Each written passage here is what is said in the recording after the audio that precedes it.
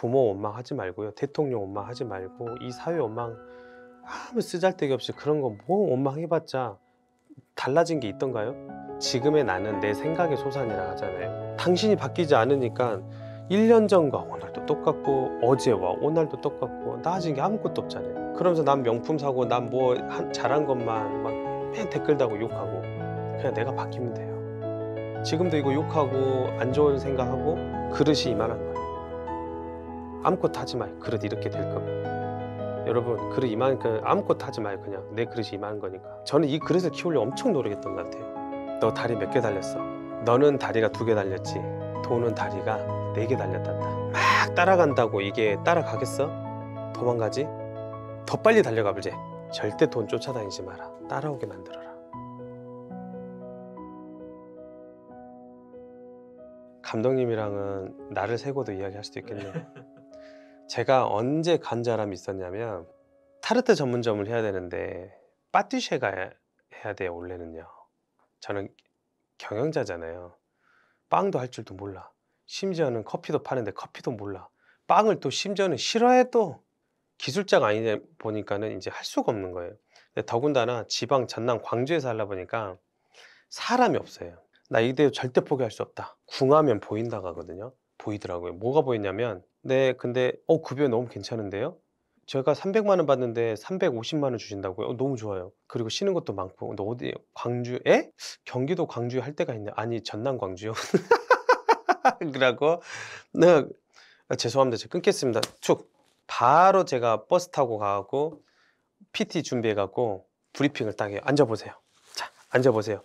제가 어, 싹 이제 막 포피 전략, 경영 전략을 다 풀어요. 막 브리핑을 앉아갖고 이야기해요. 그러니까 자기가 앉아 있는데 이상하지.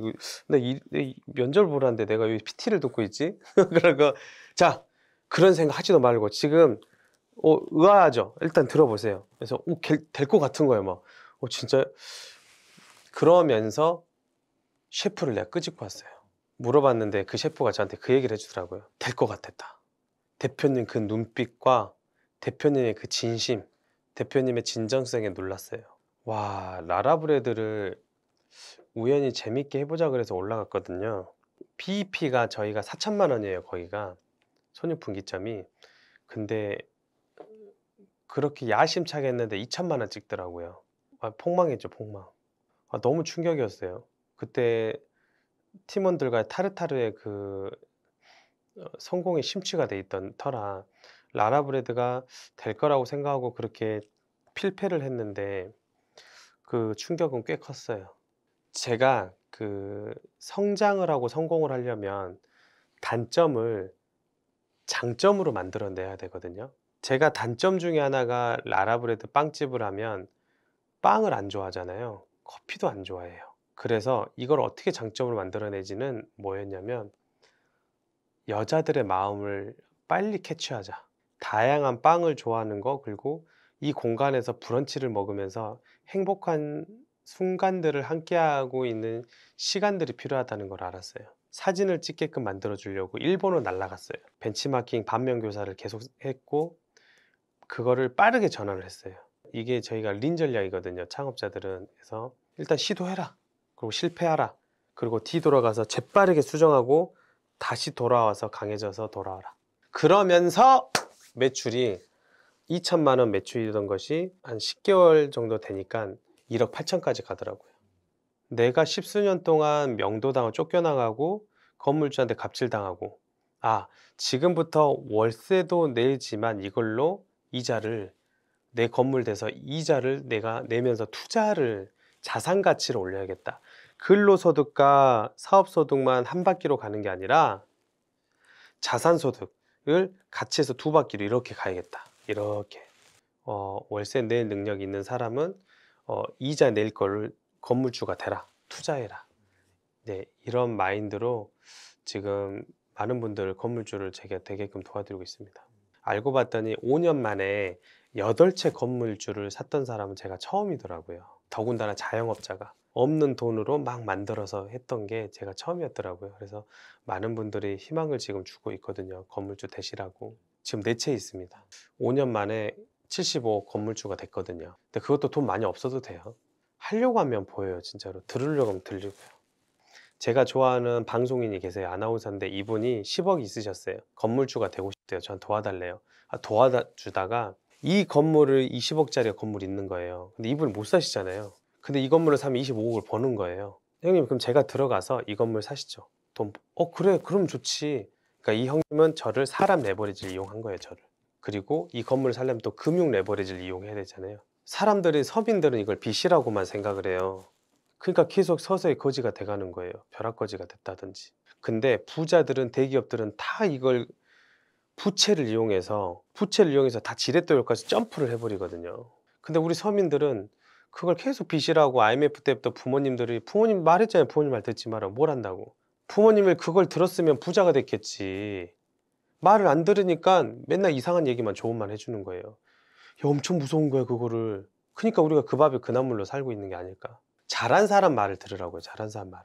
제가 뭐가 열이 받았냐면, 제가 옛날에 10년 전에 제 보증금을 이용해서 그때 당시 건물주가요, 저 세입자가 이 사람도 돈이 저보다 2, 3억밖에 없었었어요. 근데 제가 준 보증금으로 5천만 원으로 레버리지를 이용해서 건물주가 됐더라고요. 돈이 많은 사람이 아니었다고요. 지금 여기 있는 건물주들이 있잖아요. 저희들하고 창업자들, 세입자들은 별반 차이가 없는 사람들이에요. 지식과 정보를 이용해서 더 점프해서 불을 간 사람들이고요. 저 같은 사람들은 계속 어떻게 하면 장사 잘할까, 어떻게 하면 제품 잘 개발하고, 어떻게 하면 고객 잘 올까, 마케팅 잘할까. 이 짓거리 하니까는 저는 계속 이렇게만 스테이 되고 머물고 있고 기껏해 합리화시킨다는 게 어, 결혼해서 살고 내 아이 안 아프고 잘 살았으면 됐지. 그거 나를 같은 사람을 레버리지 사람 레버리지 이용하는 사람들은 이렇게 점프돼 있잖아요. 아, 그들은 경제적 자유 누리고 맨날 아직도 우리 돈 버는 왕서방 돼 있잖아요. 우리는 제주부린 곰 돼 있고 이 메커니즘을 아니까는 잠을 못 자는 거예요. 설- 열받은 거예요, 진짜. 지식과 정보가 있다는 그들만 이너서클이 있다고 해서 그들은 부자가 되고요. 우리는 매 그것만 한 우물만 파니까 그래서 기술자들이 직장인들이 부자가 안 되는 거예요. 그것만 알고 있잖아요. 그러니까 월급 받고 있는 사람은 그 독이에요, 독. 그 굴레에서 못 벗어나게끔만 계속 만들어주는 거예요. 왜? 이들이 부자들이 그렇게 만들어 놓잖아요. 그 너희들은 그것만 하고 먹고 살아. 나는 너희들 이용해갖고 계속 부자가 돼야 되니까. 그러니까 아무리 돈이 많이 벌고 아무리 뭐가 회사가 커져도 나는 항상 내 월급만 있잖아요. 그러니까 제가 그걸 5년만 5년 전에 알아서 너무 설 너무 너무 서글퍼요. 10년 전에만 알았다면 저는 100억대 부자가 아니라 1000억대 부자가 돼 있었을 거예요. 그러니까 꼭 뭘 모르는 사람들이 지금 금리가 오르고 이런 얘기만 하는 거예요. 지금은 그래서 금리가 올랐어? 그러면 지금 긍정적으로 공부할 때라고요. 그러니까 지금 스터디를 할 때라고요. 스터디원에서. 목표와 꿈과 희망 이런 것들이 들어올 수 있게끔 내 마인드가 open mind로 열려 있었으면 좋겠어요. 당신의 성공과 실패는 여기서 갈린다고 봐요. 모든 것은 내 마음 먹기에 달렸다고요. 부모 원망하지 말고요. 대통령 원망하지 말고 이 사회 원망 아무 쓰잘데기 없이 그런 거 뭐 원망해봤자 달라진 게 있던가요? 지금의 나는 내 생각의 소산이라 하잖아요. 당신이 바뀌지 않으니까 1년 전과 오늘도 똑같고 어제와 오늘도 똑같고 나아진 게 아무것도 없잖아요. 그러면서 난 명품 사고 난 뭐 잘한 것만 막 맨 댓글 다고 욕하고 그냥 내가 바뀌면 돼요. 지금도 이거 욕하고 안 좋은 생각하고 그릇이 이만한 거예요. 아무것도 하지 마요. 그릇 이렇게 될 거면. 여러분 그릇 이만큼 아무것도 하지 마요. 그냥 내 그릇이 이만한 거니까. 내 그릇이 점점 저는 이 그릇을 키우려고 엄청 노력했던 것 같아요. 옛날에 저를 도와주신 분이 있었어요. 힘들게 살았던 분이. 그분이 근데 신사동 사거리에서 칼을 맞아 돌아가셨거든요.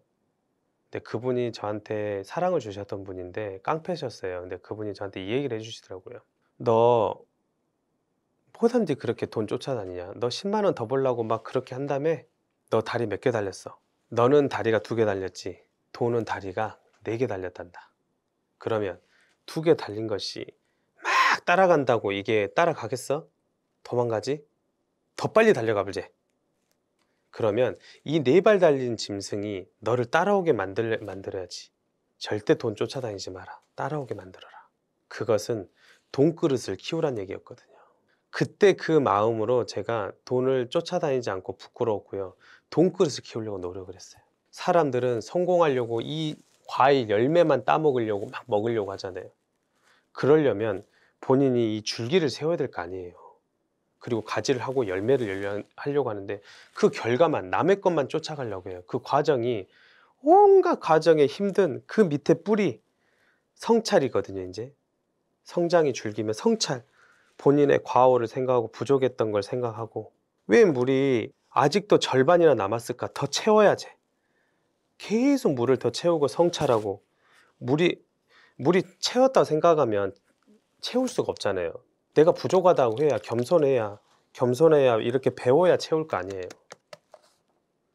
그래야 성찰이 비로소 오고 성장을 할 것이고 나도 할 수 있다라는 걸 줄 수 있는 건 결국 책이거든요. 단돈 15,000원으로요. 1,500억 1조를 만들 수 있는 건 책의 힘이거든요. 그래서 그래서 저도 책을 썼어요. 개천에서 용 안 나잖아요. 지렁이도 안 난대요. 저 같은 사람이 저는 나올 수 있다는 희망이 있거든요. 그래서 이 영상 이렇게 영상을 통해서 제 에너지를 진심을 다해서 진정성이 느껴지잖아요. 절대 좌절하지 마시고 뭐 하면 어때? 다시 일어나면 되지. 또 좌절해. 또 용기도 잃고 또 갈 곳 길도 잃어. 길을 잃었어? 너무 기회예요. 새 길을 찾으면 되지 그러면. 갈 길 잃었으면 너무 좋아요, 여러분. 아시겠죠? 새 길을 다시 찾아 나가는 여러분들이 되시길 바라겠습니다. 그러니까 여러분 할 수 있다. 여러분도 반, 반드시 하면 된다. 해보자. 저 그 메시지로 마무리하고 싶습니다.